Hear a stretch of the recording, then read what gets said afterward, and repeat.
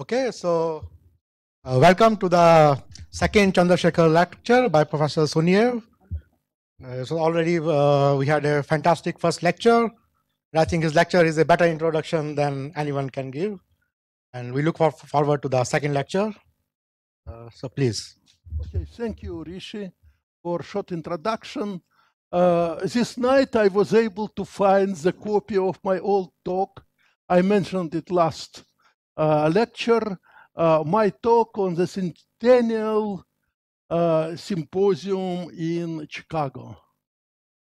It was very interesting because wife of um, uh, Professor Chandrasekhar also came there, and as I know, she survived 102 years. But Chandra left us much earlier. And this was October 17, 2010. And for this, I choose his photo for that talk. I choose his photo where he is, was much younger than in the photo which I'm showing today. Nine years passed, and you should follow this. Yes, and I will show few very simple slides from that uh, from that uh, talk, which were always important for me. This is the book of Chandrasekhar, Radiative Transfer, which was published in Oxford in 1950, when Chandrasekhar was approximately 40 years old.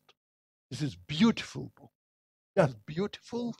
And in three years, it was translated and published in Moscow. And people told me that amount of copies printed in Moscow was three times higher than the amount of copies printed in Oxford. I was very impressed at that time, but I was unable to find in the book amount of copies which really were published in Russian. This is the cover of that book, and this Chandrasekhar himself. And also I told you that Chandrasekhar was once in Moscow, in St. Petersburg, and this is his conversation in Sternberg Astronomical Institute with uh, Yakov Zeldovich, you see my mentor here, and with John Archibald Wheeler. I remember only one thing, that practically 100% of time Zeldovich and Chandrasekhar were speaking with each other and Professor Wheeler was just listening. This was very interesting for me because he even didn't try to put one word in between. It was very impressive. But uh, I was very young and therefore I was, um, how to say, uh, seeing all these small details. But let us return to our lecture and you see here Chandrasekhar obviously is much more adult and uh, I will speak today, uh, this is second lecture. I did not finish to speak about the spacecraft, which should be launched very soon, and also about synergy and competition. And yesterday, Dick Bond, Professor Richard Bond, from uh, CITA and Toronto University asked me several questions and I was explaining him how, but now I do not remember what I told during the lecture and what I told to Nick Bond. Therefore, I will repeat few things. First, uh, significant part of this lecture will be again about clusters of galaxies, and this is the propaganda slide of Hubble Space Telescope. Very, very old. It's beautiful cluster Abell 2218, which is not very far from us. And Hubble, maybe majority of people here do not know, but when Hubble Space Telescope was launched, it was unable to give really sharp image. And this was just disaster. And NASA invited Riccardo Giacconi, just to become director of the Space Science Institute and to improve the situation. Finally, situation uh, solution was following. They killed ultra practically killed ultraviolet response of the of the space telescope because they put additional lenses with refraction and every reflection uh, kills a little of, of ultraviolet. Therefore, telescope which was built as ultraviolet became optical telescope. But after this correction, uh, telescope was giving beautiful pictures. They were immediately in few weeks, they were after repair, uh, repairing it by astronauts, uh, people saw this, uh, how to say, uh, performance verification picture, and this was one of that picture. It's pictures. You see here beautiful gravitational lenses, Einstein lenses, you see a lot of galaxies and so on. And what we know about clusters, not from uh, Hubble Space Telescope, but just from all ground, uh, ground-based optical observations made for tens of years. People were amused because these clusters of galaxies were most massive objects in our universe, and these objects, how to sell to you, were tremendously interesting. One of the one of the most beautiful things was that there are in most rich clusters there are thousands of galaxies which are moving in huge potential well with velocities of the order of thousand kilometers per second. And when they're moving with velocity 1000 kilometers per second and crossing time of the core of the cluster is only few hundreds million years and universe is uh, 13 billion years. Then you understand that there is a gravitational force which keeping them together. And this was measured in many clusters and people immediately predicted if there is gas then temperature of gas should be of the order of 5, 10 kilo electron volts. And so that velocity of the galaxies should be of the same order as sound velocity. Some galaxies are moving with velocity, with supersonic velocity, some subsonic, but average velocity is of the order of sonic velocity. And I told already last time that beautiful thing is this very distant galaxies who are amplified, lensed by this cluster of galaxies. And today we know, everybody believes this, that gravitational potential defined by invisible dark matter. Nobody knows what is this dark matter. 20 or 10 years ago, everybody believed that this is, how to say, massive particles which are moving and masses of these particles are maybe 100 GeV, maybe 10 GeV, and people were looking for these particles. They, up to now, there are great experiments, ground-based experiments, but nobody sees any traces of their presence. And today, I'm very interested uh, that Jerry Ostriker, uh, Lam Hui, and uh, two people from Institute for Advanced Studies, Scott Tremaine, and great string theoretician, everybody knows him, uh, they wrote paper. Where it is written in that paper that maybe these dark matter particles have mass of the order of 10 in power minus 20 grams. They're really negligibly not massive and they can reproduce practically everything. Hmm, EV. Sorry, and I, what I told Gram? No, no, no, Gram never. Gram is 10 power minus 20 is uh, proton is even uh, 10 power minus 23. It's EV, and these particles, maybe axions, maybe other particles, they maybe are playing here the role of dark matter. And again, a lot of people, yes, this paper, which was written in the end of 70, uh, 2017, now has more than 290 citations, and every day they are coming and coming. And, and a lot of young people now are considering how condensate behave of these particles, and so and so on. It's very interesting. But for us, important only one thing. This is gravitational potential. And if we will think about this gravitational potential, new era came when great X-ray telescope, Chandra telescope, and this XMM Newton telescope of European Space Agency were launched. and they measured brightness of the gas, its temperature, and electron density. And this is nearby Coma cluster, only 90 megaparsec away from us. And in this cluster, temperature of gas changes from 5 keV to 9 keV. Sound velocity is higher than 1500 kilometers per second. Average electron density there is only uh, three particles per 30 centimeter cube. Extremely low density. But even if density is so small, volume is huge, therefore this source emits a lot of X-rays and we can observe many, many things with it. And second, it is possible because now you have the sound speed and you can make model of atmosphere. You know if somebody will measure what is the height of atmosphere of the Earth, this is a Uh, problem for the schoolboys. We know that height is of exponential atmosphere is of the order of eight kilometers. We know temperature, so on. We can immediately find what is the mass of the Earth and what is gravity on the Earth. It is just Boltzmann equation, and you immediately write what is the Boltzmann atmosphere.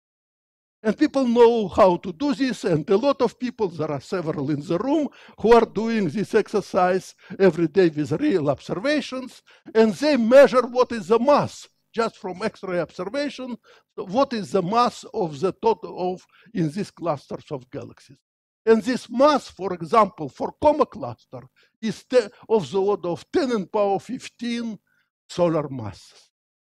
Huge mass, that's huge. But if we return in time, we will remember this person.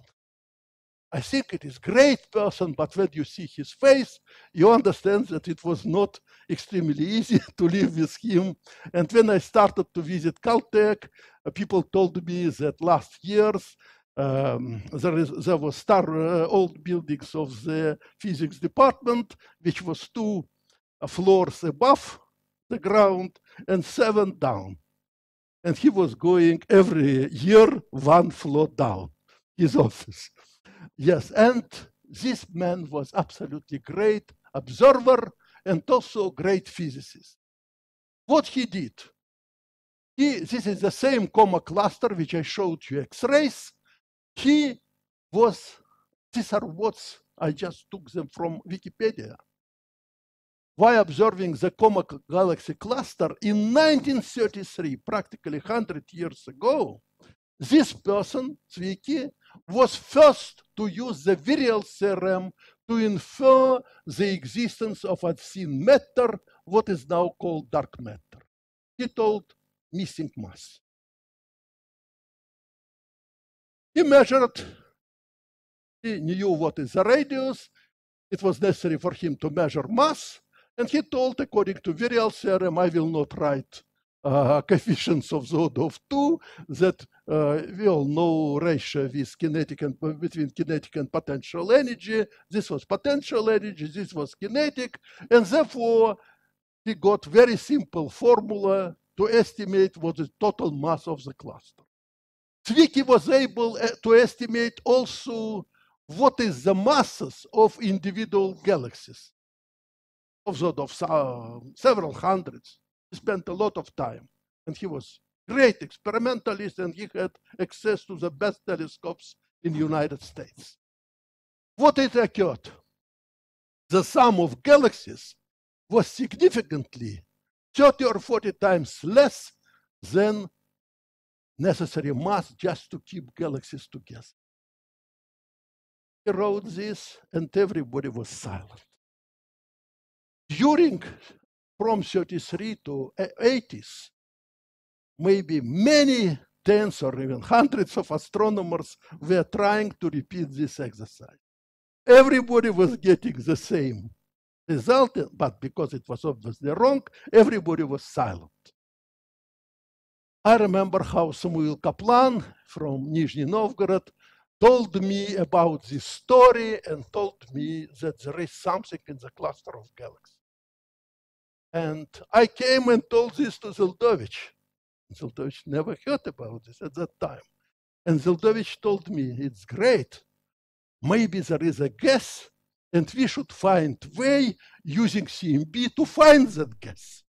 At that time, there were no X-ray detection. But X-ray detection came in a year or two, and it was it showed that gas is not enough also. What we know today, and today, this is what we know, that 80% of mass is a dark matter. Yes, we do not see, but gravity is there, therefore we are telling that this is gravity. Second, all numerical computations for the when particles are interacting only due to gravity permit you to show that really this thing is giving you the shape of potential, everything. It's absolutely great. Then few percent of total mass produces you optical light. These are galaxies and stars there. And this only few percent. And 15% of mass we can observe now using X-rays and CMB, and this is hot gas which is filling this volume and which is inside this great potential well, and it's very hot because in opposite case it will collapse and will produce us additional galaxies. This is what we know, and this is what is observed. We see this, this again not hot gas, this is CMB diminution of the brightness from Planck, and these are stars, and this is dark matter. Additional thing which we can, uh, uh, yesterday this was question from uh, Dick Bond, and I discovered the picture from XMM, how it is observes cluster of galaxies, I think at redshift of the order of 0.4. And you see here lines. But this is uh, if we recompute this to the rest frame, it would be 6.7 keV line, and this is well-known system of the lines of helium-like iron ion. What does it mean, helium-like iron, uh, iron ion? You have helium, you have iron, and iron has 26 electrons. But when temperature is high, then electron collisions are taking photoionize the atom and you are losing electrons. And the temperature of the order of 1 keV, when temperature is 10 power 7, nucleus with 26 protons, and uh, yes, it is surrounded with only two captured electrons. And this is helium atom, but with charge of the um, nucleus 26. This is helium. Like iron, it is beautiful because there is a lot of relativistic corrections here, uh, a lot of atomic physics. And I can tell you this is most abundant iron and it's producing, uh, again, due to the electronic collisions, it produces this line and we can measure what is the redshift because this line is coming at the energy uh, 5 point something instead of 6.7. We can measure what is the redshift. And eROSITA, yesterday, Dick asked me, eROSITA will be able just during the survey, measure the redshift without any optical support for at least few thousand clusters. You need 50 photons for a cluster to measure such light. Uh, spectral resolution is okay. It will be uh, at least, we hope, not much worse than uh, XMM Newton uh, spectral resolution. Yes, second thing which I mentioned yesterday, but was unable to show picture, is the following. when I was uh, reading first cosmological books, I was amused by one thing. There was an example that if I have rigid rod, this is dimension, and then I go in the universe slowly from the observer. In the beginning, picture is like in Euclidean world. The angular dimension, you see in arc minutes, of my rod will decrease. and it will take place up to redshift point 3.4, and then it will start to increase. The same road, due to the curvature of the universe, it will become, I will see it this big as a bigger and bigger angular dimension. It's very well known fact. Everybody who is reading cosmology books, they are uh, reading this. And for me, for this cluster business, most important is the following, that from redshift point 3 or point 4 up to redshift 4, you see here, angular dimension of the cluster of galaxy with dimensions of one half of megaparsec, just physical one half megaparsec, is practically the same and it's close to 1.5 or 2 arc minutes. And majority of clusters of galaxies should be such dimension, and therefore we need instruments which have angular resolution of the order of one arc minute, and then we will immediately see that object is not point-like, but it is diffuse, it's bigger than point-like uh, object, and in addition, it has finite dimension. What we can do, it's very, very important. It's also very important for the effect which I described during uh, previous lecture, because during that lecture I told you that uh, effect doesn't depend on redshift. If I have similar amount of cloud with similar amount of electrons and with similar temperature, I will see it at any brightness in the center will be the same at any redshift. And here I have the same angular dimension. I should multiply brightness to dimension. They all have luminosity, which depends on the distance, on the, in this practically constant in very broad region of the redshift. This was unexpected and a lot of people were not believing this, but these were not physicists. Astronomers were not believing because for physicists, physics is important. For astronomers, in the beginning, they were not believing that universe is expanding, but when they believed this, they knew that every distant galaxy is redshifting. And therefore, all spectral lines are redshifted, all spectrum is redshifted. And here we were telling, no, there is no redshift. It is the same at any redshift because all formulae depends on the h nu divided to k, ktr, and tr is increasing of radiation due to the expansion of the universe, but at, before temperature was higher, like 1 plus z redshift, and similarly, frequency behave in the same way. Therefore, there is no redshift dependence. And for astronomers, this was very, very unnatural.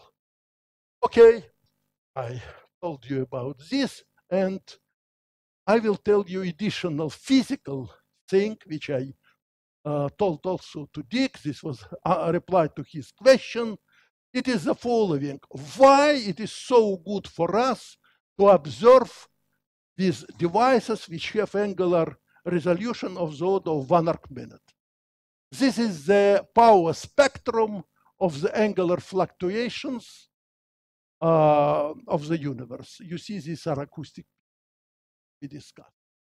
And there is also silk damping. Joe Silk is one of the people in the, on our Earth whose effect will survive at least 10 or 15, I don't know, billion years. You know, therefore he made the, I don't know how to say this, monument for himself that which carries his name, silk damping. And you see in this silk damping that these are primordial acoustic waves which produced us this, uh, uh, this um, how to say, quasi-periodic dependence. But already at five arc minutes with at resolution of Planck, they are much weaker than at maximum. But when I go to one arc minute here, they are practically six orders of magnitude smaller than on one degree scale. Six orders of magnitude. This is the reason why telescope like South Pole Telescope and even Atacama Cosmology Telescope, it's very difficult for them to detect clusters here. If they know that cluster is there, they can do this. But primordial fluctuations are much stronger. But when you go to one arc minute, to the where is the resolution of these instruments, then you are able, you do not have um, competing, uh, um, competing background, uh, which uh, making your situation with observations much worse. I will tell additional thing, yes, here, why also it is important for us to question of synergy, why it is important for us to have data for, from X-ray emission, which is Bremsstrahlung or emission in the lines, because that emission needs interaction of two particles, one electron moving and nucleus which attracts it. Here, then acceleration and emission of photon. Therefore, this process, intensity of X-ray radiation, is proportional to square of density of electrons and dimension R of the core of the cluster. But effect on CMB, it is just Thomson scattering. And Thomson scattering is proportional to an E and amplitude is proportional to temperature. Therefore, this pressure multiplied to R, this first degree of density and he is. This is absolutely great because just combining these two observations, you immediately are getting what is the radius of the characteristic radius of the cluster of galaxies. And this characteristic radius, you are measuring it knowing only physical constants and bright distribution of brightness. And this gives you excellent way to measure long, um, uh, Hubble constant. How? Because you have the angular dimension of the object and you know, if you know velocity, you can do everything. This is very interesting situation also, and people are trying to have to get both observations. And I will show also why it is so useful to have this effect. These are observations of Planck, and this is well-known Shapley supercluster. Great supercluster in which there are two very close clusters of galaxies. I think that majority of you know it. I have picture, but haven't time to show it, but Dick showed it. There was um, there was um, uh, on his picture also was Shapley supercluster. And you see here the effect on CMB. This cluster of galaxies, this cluster of galaxies, and in between there is a bridge. And this bridge you cannot till now see in X-rays because density of this bridge is very low and you need an E square Therefore, it's difficult to observe. Uh, no one spacecraft till now observed it. But Planck is observing it, and I heard that Atacama Cosmology Telescope also. It's very interesting just because you specially designed to, the, to observe first degree of very small value and for X-ray emission, it's necessary to work with the second order correction, which is much smaller. And this is these are Planck data. Yes, and Planck observed several such bridges, which are very interesting. Yes, I will return now to the to the uh, to the spacecraft. I think it will be better if I will just go to here to it, and then we will return. Uh, I told you already that on 14th of December, I was in the Lavochkin industry and saw these two instruments.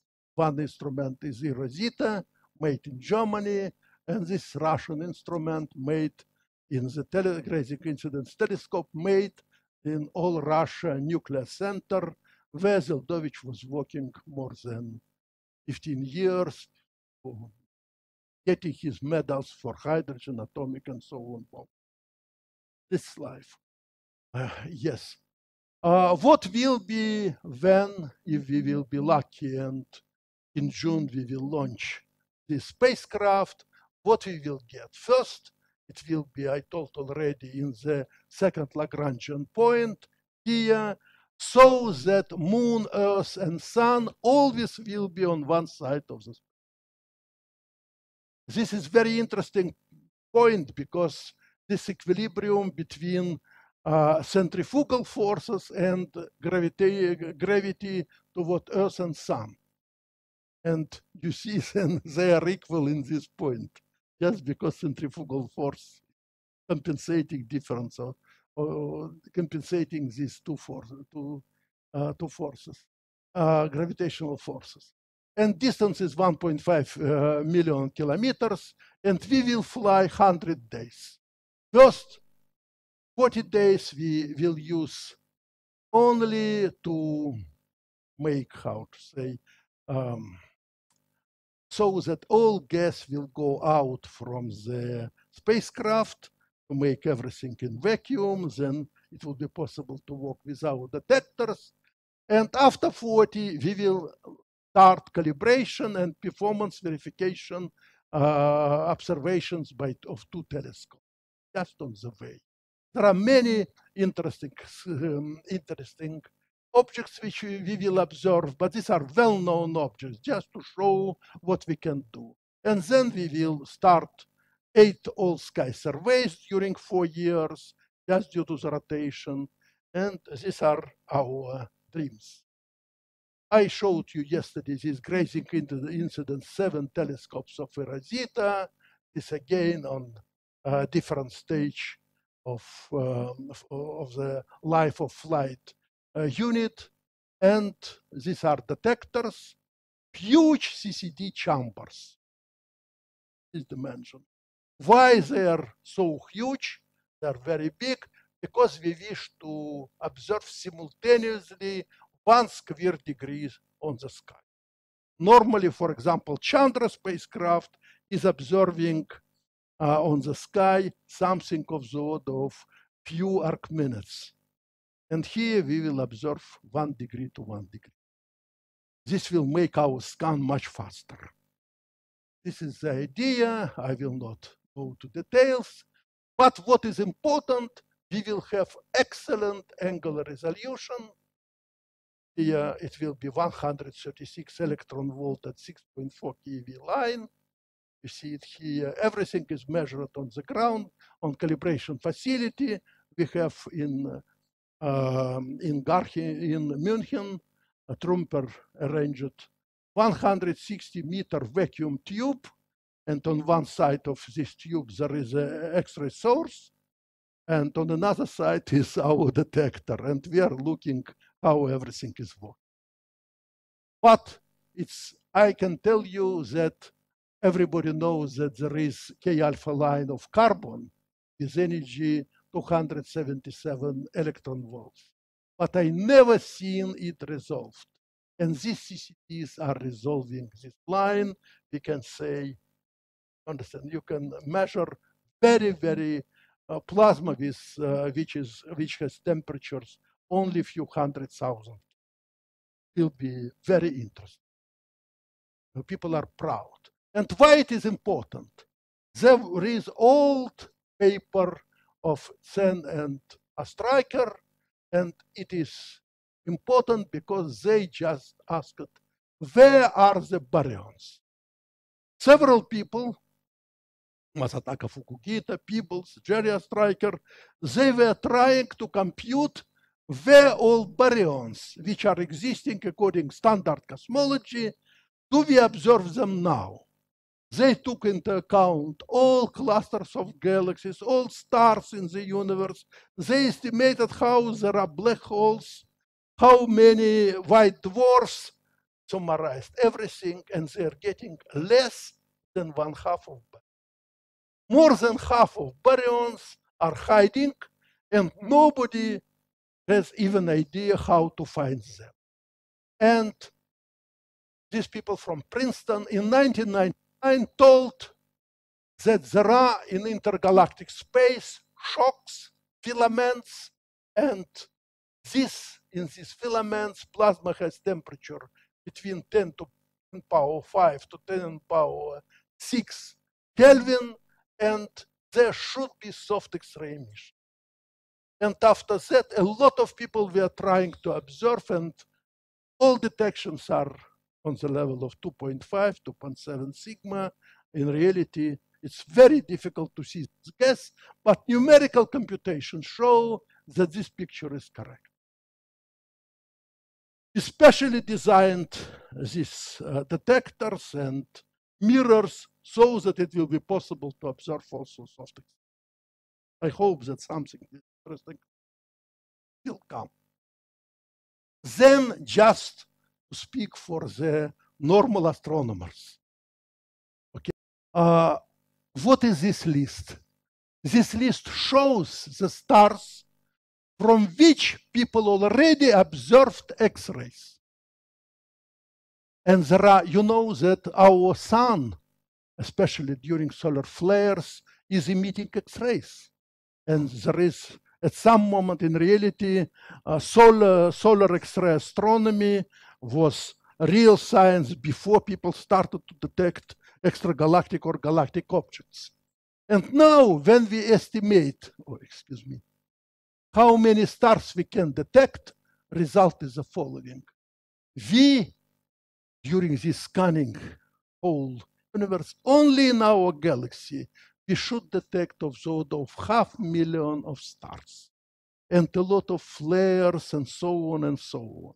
In reality, because majority of people now are interested in cosmology, it's not interesting for majority of people, and, but there will be a lot of data and you understand yourself, just in our galaxy, we will observe of the order of half of billion of X-ray stars. And I hope that we will detect something. And these stars are from very late and tiny M dwarf, having mass, for example, 0.3 or 0.2 solar masses, up to giant O5 stars with masses of the order of 30 or 40 solar masses and all of them are producing X-rays on some level, shocks in vicinity, and so on. This will be our problem, what to do with all these objects. Now, this is comparison. I don't think it's good to uh, tell to theoreticians how good is uh, how good are um, detectors, but mirrors and detectors of eROSITA, this, they have enormous production of effective surface area of uh, telescopes and detectors multiplied to field of view. It is much higher than XMM and many orders of magnitude better than Chandra spacecraft because due to this very wide angle which is observable by this spacecraft. And this is great and this is main propaganda slide in reality. Yes. 30 second telescope, I told you it is hot. And main goal for this telescope is to observe Compton-thick AGNs. Because there are black holes which are eating so much matter that there is enormous amount of matter in accretion disk around, and this accretion disk is optically thick, Therefore, we do not see central engine which produces X-ray. We are unable to observe this. They are absorbed, absorbed. But in hard X-rays, it's very difficult to absorb them. Only Thomson cross-section is working. Therefore, if you have hard detectors, you can do this. And this detector will do such things. This is sensitivity of eROSITA, and this is sensitivity of ART-XC. Therefore, telescope will absorb up to 20 or so on uh, keV starting from 0.2 or 0.3 keV. This energy band. And this is simulations. What will be the picture? This is the best on very small uh, piece of sky simulation observations and simulations that are of XMM Newton. This is ROSAT all sky survey. You see And this what eROSITA will give you. Enormous amount of sources, millions, millions and millions.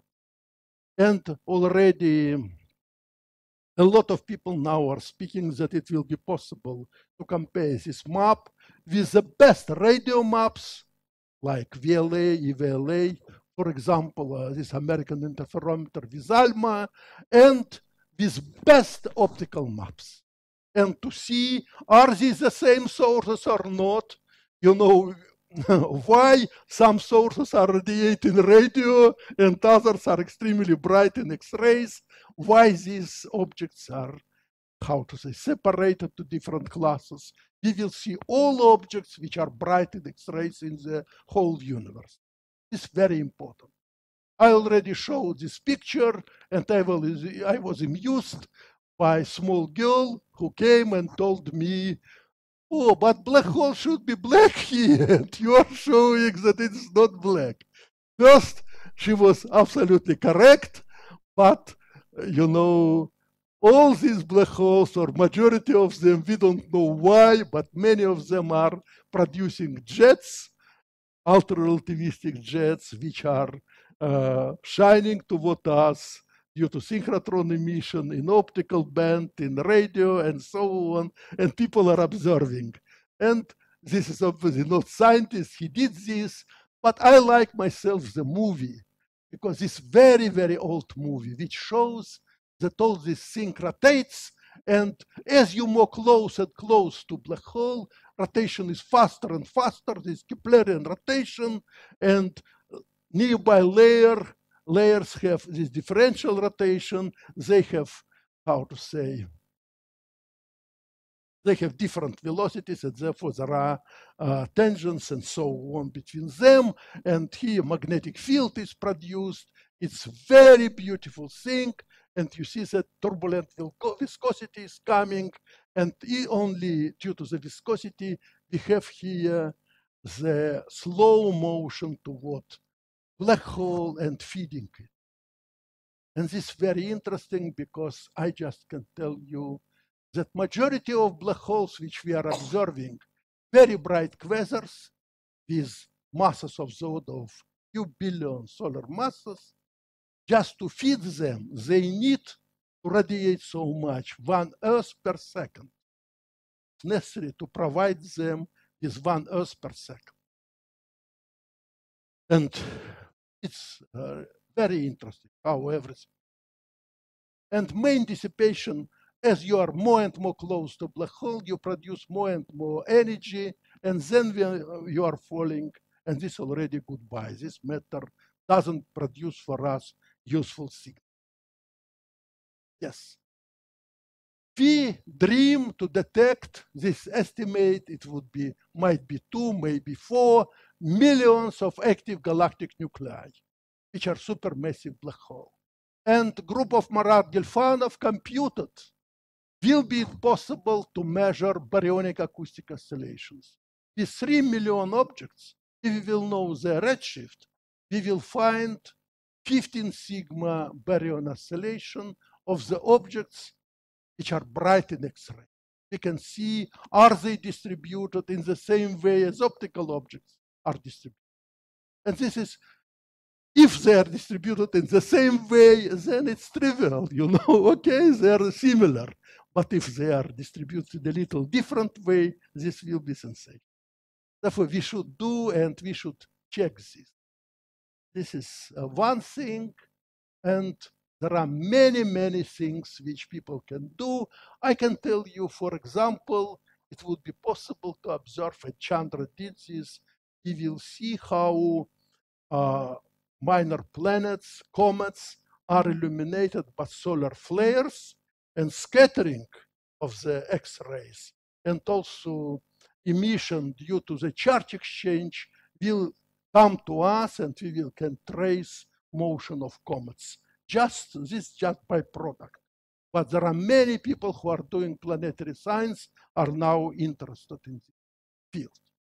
Now, what we will do, it is a Planck spacecraft. And picture of Planck, Planck rotates, and you see it beams. Oh, excuse me. So rotates, and then there is a strip on the sky. And then axis every day axis follows the sun one degree per day, and you can get uh, whole sky will be covered in a uh, in a half a year. This is picture for WMAP and three objects: sun, uh, moon, and um, uh, Earth are from one side. Most important, that period is four hours. Therefore, six times per day we will ob- observe every source in this strip on the sky, 360 degrees to one degree. It will be measured. Yes, and now I will tell you why we need also eight scans. We will follow, we will follow variability. And you see these objects. First, we will observe and see gamma ray burst afterglows. They are shining weeks or even sometimes months, and we can see them. And even we were unable to see main uh, event gamma ray burst itself, we will see traces. What what is the afterglow? Uh, we will see also uh, soft gamma ray repeaters. We will see ULXs, ultraluminous X-ray sources in different galaxies, X-ray binaries, classical novas, dwarf novae, flare stars, everything, and is very different variability from 10 in power minus 2 seconds here up to 3 years. We can observe. Most interesting for us will be a AGN tidal disruption.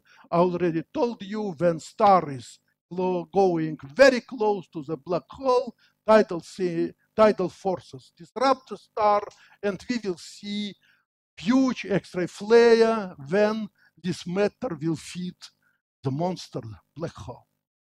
You can see this. And this our at that time he was our student. Now he is a postdoc, Ildar Khabibullin. His estimate is that we will see thousands of such tidal disruption events over four, four years. If it is true, then we will see practically how these black holes are really eating stars and not just diffuse gas. What contribution is coming from the disrupted star? There will be very interesting things because orbit is going and orbits are intersecting in two points. One is north ecliptic pole and the southern ecliptic pole. And this will be will be places where we have five, ten times more exposure than average on the sky. This is our deep survey region. We will just get it in addition, in addition. Yes, again, clusters of galaxies we will observe. And I can tell you that uh, this is Millennium simulation. It's very old simulation performed by Virgo Group. Leader was Volker Springel, now new director of Max Planck Institute for Astrophysics in Garching.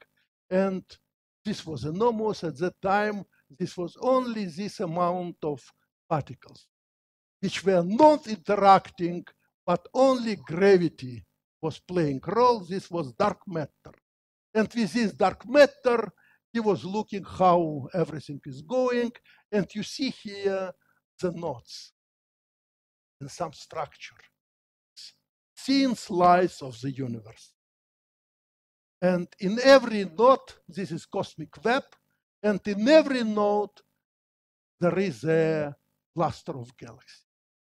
Cluster of galaxies, and these are filaments, and dark matter and normal baryons are flowing, increasing mass of the cluster of galaxies. Just you can see this on the movies. I, I hope that all of you have seen it there on the web page of Volker and Institute. You can see this, it's beautiful pictures. But for me, it's most important that they are knots. And therefore, if I return, every this point here is a cluster of galaxies. And they form, they are knots of the web structure of the universe. And this is absolutely great. And we will detect, we hope to detect all massive clusters of galaxies in the observable universe. And this is something tremendous. And when we were negotiating with our German colleagues, at that time, director was Günther Hasinger, who is now scientific director of European Space Agency. Günther was telling, oh, we have small device, not small, few hundred kilograms, which can observe uh, few thousand degrees on the sky. And I told, no, we will provide spacecraft and so on, only in the case if we will observe all objects in the universe. And he told me how it is possible. This will be very heavy device, and device is 800 kilograms, and it will be launched. This is And we are very glad. Yes, and I can show you, you the ability. These are simulations of Eugene Churazov. You can see here real observations of Chandra spacecraft. The spacecraft named after Professor Chandra Chandrasekhar. And this is 30 pointings and two milliseconds, two million seconds, you know, were given to observe this cluster of galaxies at redshift 0.06, you see. And there is some structure. And this is one pointing 80 kiloseconds by E Rosita. And you see all details which are here, you can see here immediately. And this is, you know, instead of two milliseconds, of the work of extremely expensive spacecraft. You can do this using much cheaper spacecraft and only in 80 kilosecond because field of view is so huge and angular resolution is enough. It's specially designed for this problem. Yes, second question is the following. We all know our universe before there were no stars, no galaxies, no clusters of galaxies. And everything in the universe is growing because we have gravitational instability, because structure is growing with time.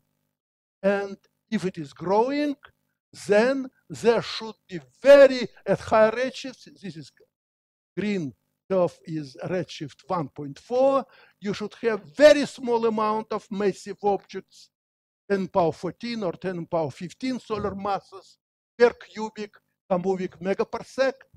But if you go to redshift 0.5, much more. And if you go to redshift 0, you have a lot of them, these massive objects. And they continue to merge. We see the shock waves there. We see that these clusters are growing. And what is important that if we will measure all clusters of galaxies from redshifts of order 1.5 to us, we can see how cluster is growing and this cluster is just going to kindergarten, this already to the school, this already graduated from university, and at the same time, you know, weight is increasing also. Therefore, it will be possible to see all what is occurring in the universe.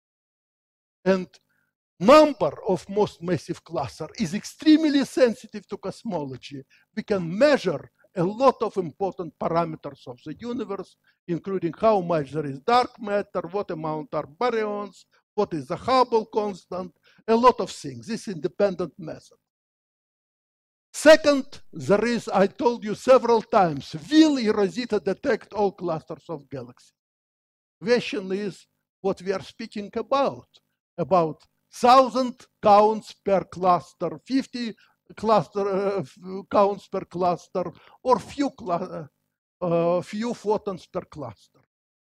There is person in uh, in uh, God, in uh, Harvard Smithsonian Center for Astrophysics, Alexei Vikhlinin, he was student in our group.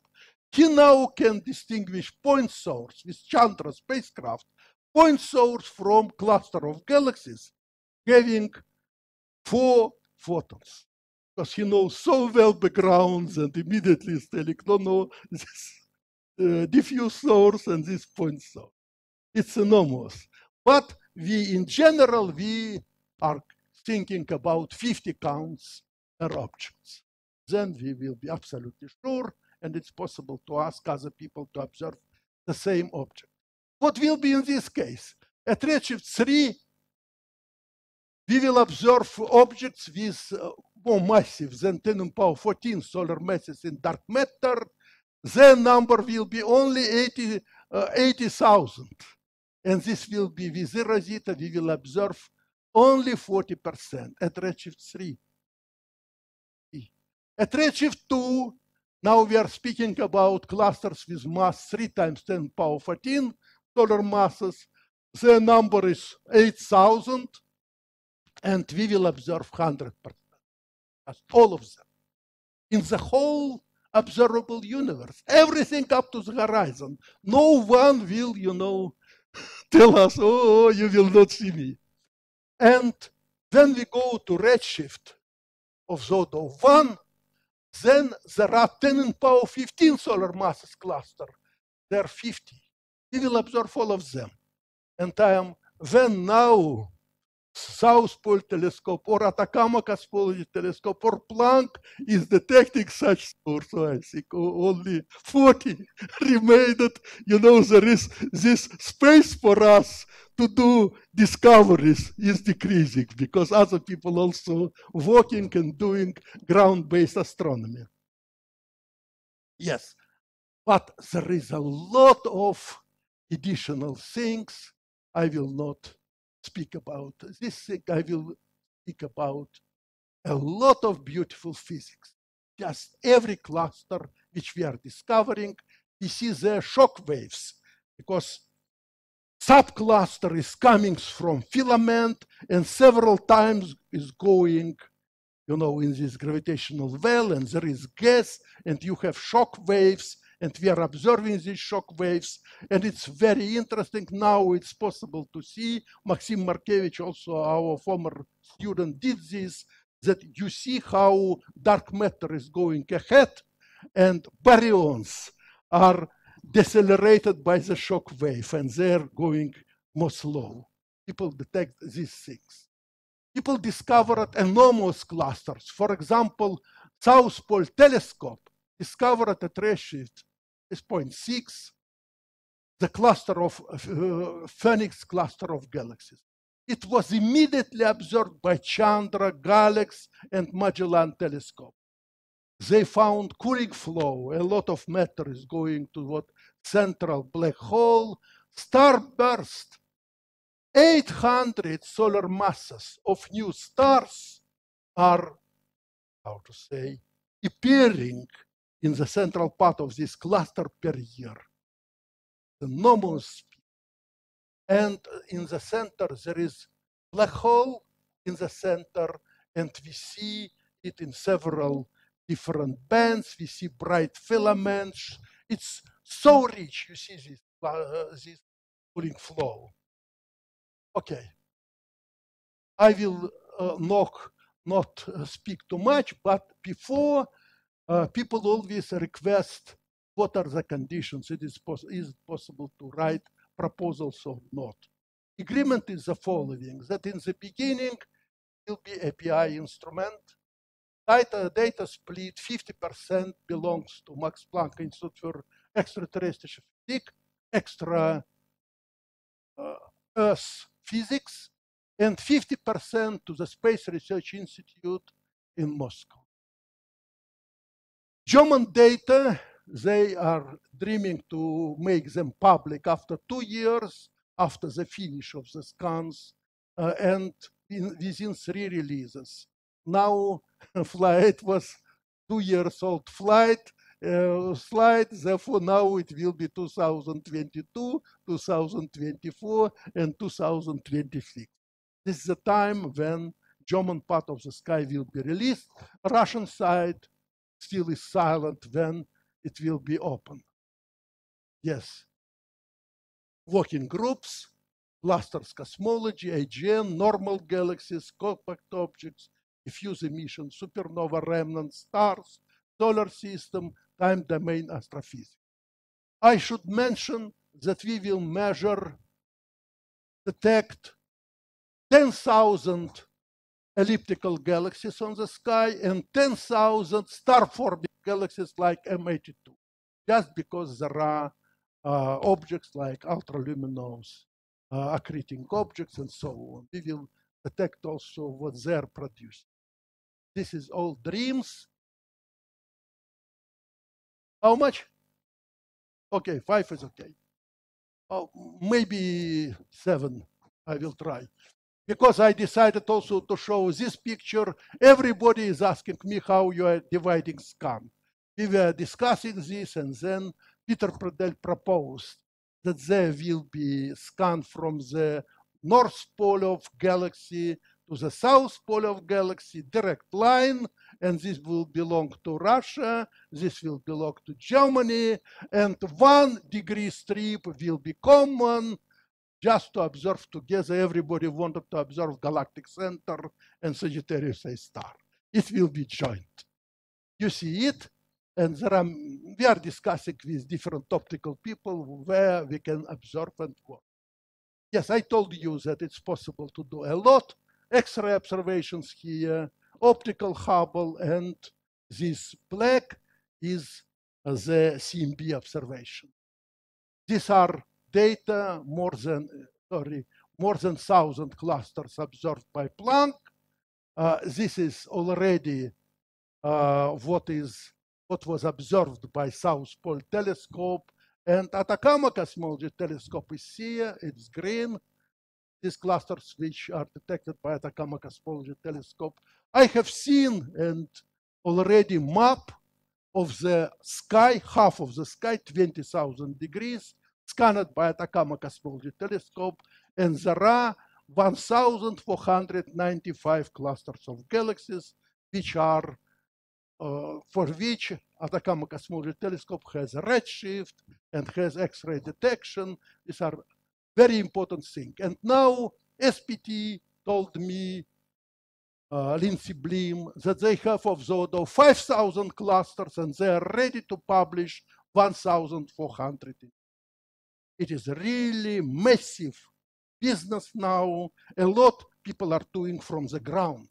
And it's beautiful. And for me, it is important that 3G phase now 16,000 bolometers, cryogenic bolometers, are staying in the focal plane of the South Pole Telescope. It's enormous because they started with 10, then 900, and now it's 16,000, and they wish to do more and more. And this future, I already showed you this, this will be competition between eROSITA, eROSITA, this sensitivity of eROSITA, two clusters with 10 in power 14 solar masses, 10 in power 15, 10 in power 13. And this is what SPT 3G, 3G wishes to get. Together, at Atacama Cosmology Telescope and SPT, they're talking about few hundred thousand objects on the whole sky. It is just a domos. And it will be great to overlap eROSITA map with 100,000 clusters and group of galaxies onto high quality Y map of this Z effect map from the future CMB spacecraft. Then you see a lot. This is Klaus Dolag computations, and you see many, many clusters of galaxies, which will be possible to see, and a lot of groups, enormous amount. Very interesting also that Planck sees gravitational, uh, you know, this is the last scattering surface, and due to presence of irregularities in mass, photons cannot go straightly, but there is a weak lensing. They're coming to different places. It would be very interesting to observe picture in CMB picture, which is coming from very high uh, distances is data from local clusters of galaxies which are not far. Therefore, this will be a lot of additional information. Okay, and I can tell you, as usual, um, I'm telling this when there are experimentalists, but you are serious. Nevertheless, I will tell you. All bulk of this work was done in 69, 72 and I can tell you that without great progress of solid state cryogenic technology of grazing mirrors and bolometers able to detect sub-millimeter sources of celestial radiation, development of spacecraft technology, it would be impossible. And I'm very grateful to hundreds of physicists, engineers, and astronomers who made this possible. And I'm enormously grateful to my mentor because he thought in the beginning that all these effects never will be observed. But he told physics is so beautiful that let us publish. And it is good that he permitted to publish this. You see these things, I am very, very glad. Yes. Thank you very much.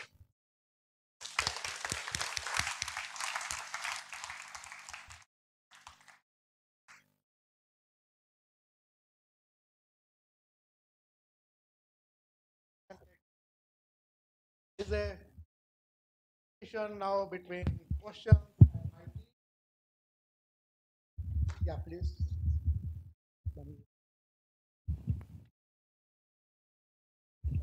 Mentioned uh, you mentioned the result that uh, beyond redshift 1 i think for certain range of redshifts the these observed uh, cluster sizes would be independent of redshift so i was wondering isn't this result uh, based on model of the uh, closed universe with lambda is equal to 0 No, no, so no, if it it is uh, okay for our you for the this graph which I showed you. It is the best model which is accepted by everybody today. okay so even when lambda is non-zero lambda, with everything. And okay Nevertheless, we have this object, and even more, we are observing these clusters and measuring their dimensions, and this proving that our understanding is absolutely correct.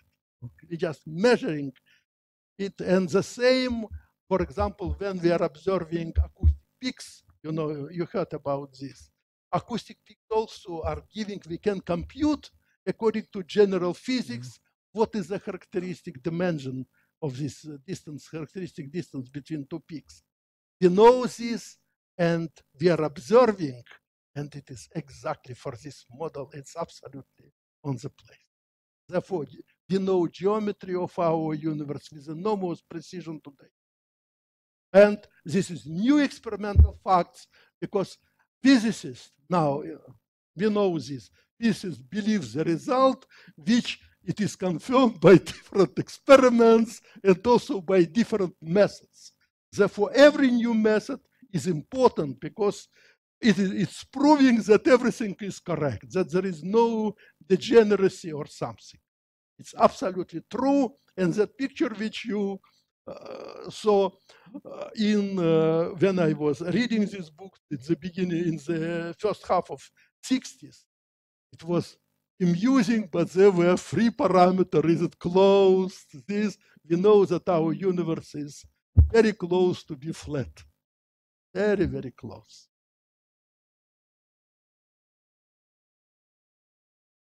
Rishi, you are big boss, whom you are permitting to talk. Okay, I'm here. So currently there is more than 3 sigma tension of the uh, me- uh, measured value of Hubble constant between uh, CMB and supernova data. And from Sunyaev-Zel'dovich observation and X-ray observation, one can also determine the value of Hubble constant. So what is your view that when eROSITA will detect lots of clusters, do you think it can be an alternative probe to put some light between this, uh, uh, this tension? I have no, okay, there are data which are published. Every experiment has some uncertainty, or people believe that somebody is overstating, making a statement too strong, and so on.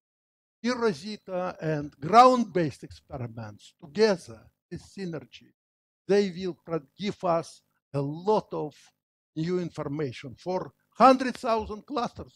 Every individual cluster will give its value. Therefore, this will be tremendous, interesting, and so on. But please also understand that when we are speaking about supernovae, it is, this is information about redshift 0.3, 0.5, 0.7, 1, maximum is one and a half. When we are speaking about clusters, it is the same. But when Planck is observing last scattering surface, it's redshift 1100. and maybe there is something in between. You understand me? Maybe we are void, living in huge void and so on. We can prove a lot of, we, we can find something additional new. I hope.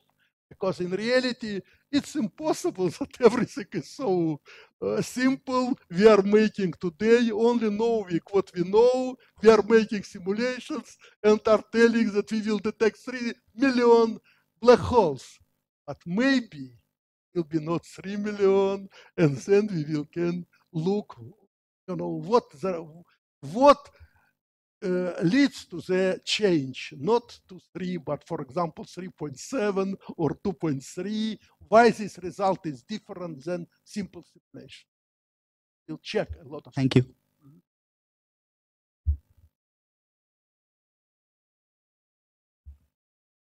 Just a quick comment on this. Uh, the BAO measurements, which are over a similar redshift range, also give a separate, a different value. So, um, so Oh, I agree with you. the question too. is yes. more open than that. I agree. Question is not simple, but I told you that when Zwicky told us that there is a problem, there is 40 times not enough matter, and people were silent 50 years, they were just living with this problem. You know, time to time they were remembering, then telling, oh, this guy is crazy, and this was all. You know, and then everybody recognized, yes, there is a dark matter and everything is simple and this dark matter is everywhere. And now every experiment shows, yes, there is dark matter and there is even dark energy. But ask any person, what is dark energy or dark matter? Nobody will answer you because we do not have uh, physics which can make experiment which will demonstrate what is it. And today, all data are coming really only from astronomy. And Dick in the beginning demonstrated you, or during your lecture, you showed what is occurring in the first tiny parts of the second. And we see this also on the some restrictions are coming from the Planck data, from the slope of uh, of the power spectrum of the initial perturbation. We are getting a lot of new facts from astronomy, and therefore this field is attracting a lot of people.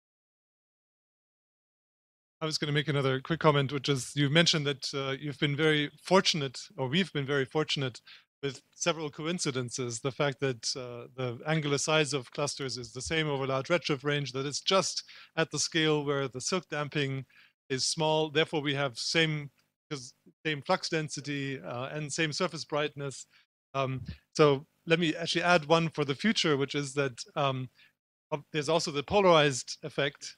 Um, and it turns out that due to the orientation of, of, of the quadrupole, uh, of the CMB quadrupole, in fact, most of the polarized effect will be visible from the southern hemisphere, where all of the ground-based CMB experiments are that have a chance of, of seeing this.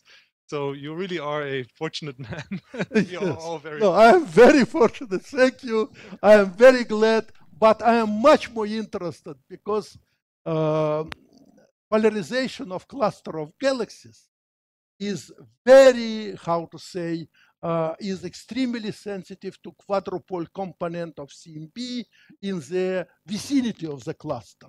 And if we are observing, for example, clusters at redshift 1.5, then there is a we do not see we cannot see quadrupole there by any way but polarization of clusters will tell us what is the quadrupole component there which today is already not quadrupole at all. This is important and pity i hadn't time but i can tell you there is another effect which is really great because it is a kinematic effect which permits us to measure velocity of every cluster of galaxies relative to the CMB. And therefore, when we are observing very distant cluster of galaxies at redshift 1.5, we can say which is moving from us with relativistic velocity. We can say practically about cluster, every cluster of galaxies that relative to CMB, its velocity is less than few thousand kilometers per second less than 1% of the recession or 0.1% of the recession velocity. And this is enormous. You just show that Copernicus was correct, Einstein is correct, everything. You know, we just one thing we are living, um, reading our Bible, and we believe that Bible or any holy book is correct. But here we just measure and telling that everything is going according to the formula which we are writing. Because it is experiment and nobody when i'm telling about this people are angry it's trivial it's written in every textbook. Yes it shows that our textbooks are correct and it's good and this new experiment which demonstrates this. And it is beautiful thing very simple and show permitting you to measure what there is cmb which we do not see at very far, and uh, cluster is just scatters photons, and you see the change of the brightness due to velocity. Sorry.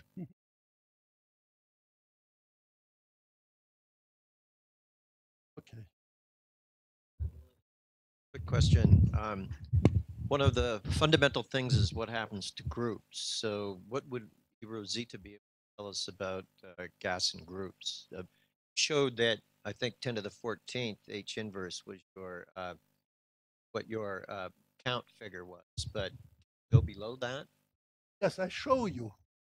We will show here. You see, this will be that is one. I think this is two or three times 10 power 13.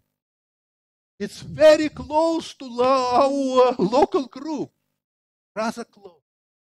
And we cannot observe normally but using this soft detector, we hope to detect even if gas is hot.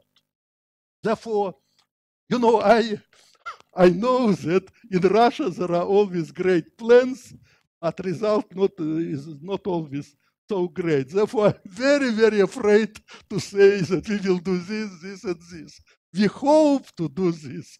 And if device will work properly, if spacecraft will work properly, if we will get very good students, it will be done. It's possible.